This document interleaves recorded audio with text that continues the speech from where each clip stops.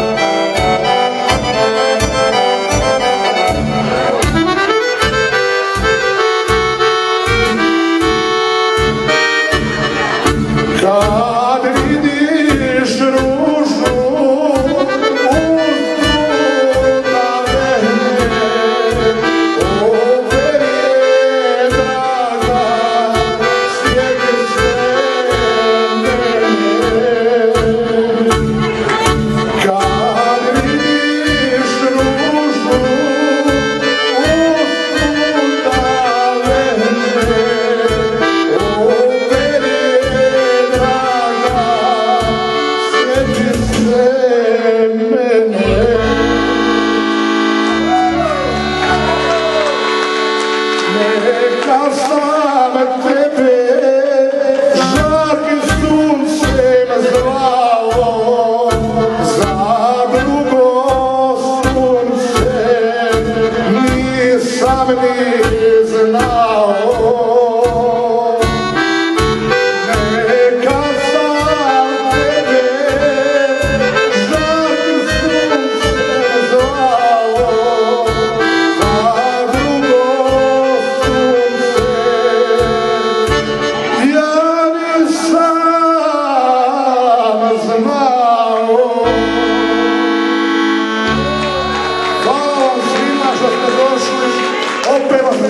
Ispred našeg društva Mera, kulturničkog društva Mera, Toronto.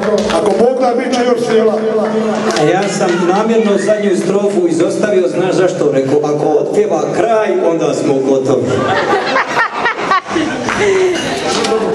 Kako lepo. Kako uopće može